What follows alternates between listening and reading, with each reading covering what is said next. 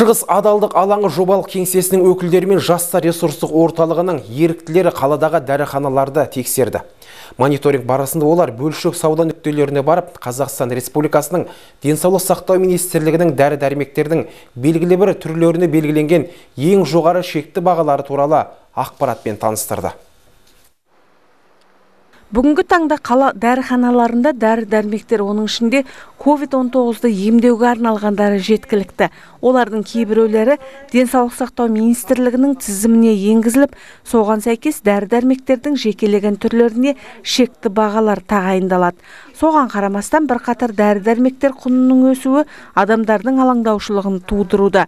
Осыған байланысты Шығыс адалдық алаңы жобалық кеңсесінің өкілдері жастар ресурстық орталығының еріктілері осы дәрі дәрмектердің бағасына бірлескен мониторинг жүргізуде. Денсаулық сақтау министрінің бұйрығымен мына дәрі дәрмектердің шекті бағалары қойылған болатын. Міне парацетамолдың бағасы шекті бағасы мына ирбит химия фармацевтикалық зауытынан шыққан дәрінің бағасы 72 теңге 06 тиын болу керек. Бірақ өкінішке орай білмеймін осы дәріханада бұның бағасы қазір сәйкес келмей тұр 100 теңгеден болып отыр. Енді басшыларына айтамыз деді бұл бағаны міндетті түрде бұл кісілер түсіру керек. Бұл жағдайға байланысты шекті бағадан асып кету фактісі бойынша дәріхана басшылығына заң бұзушылықты жою және денсаулық сақтау министрлігінің қолданыстағы бұйрығына сәйкес дәрі дәрмектің құнын төмендету туралы ұсыныстар берілді. Келесі дәріханада бағаның 60 тиынға шамалы көтерілген анықталды. Бірақ дәріхана желісі директорының айтуынша бұл дәрі дәрмектер көтерме бағамен сатып алынады.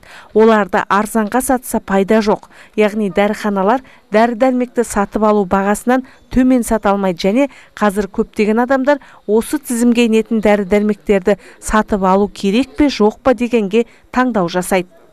Сейчас вышел этот ковидный список, и там қазір ковидтен емдейтін дәрілердің тізімі шықты тіпті бағасы да бар.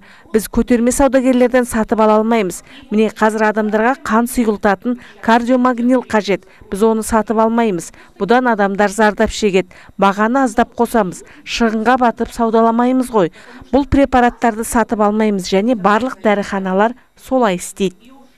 Сонымен қатар мониторингтік топ бүгінде дәріханалардың бөлшек сауда желісінде әртүрлі ауруларды емдеуге арналған дәрі дәрмектер жеткілікті және ешқандай қарбалас жоқ екеніне көз жеткізді. Бүгінгі күнде складтарда дәрілердің қоры жеткілікті.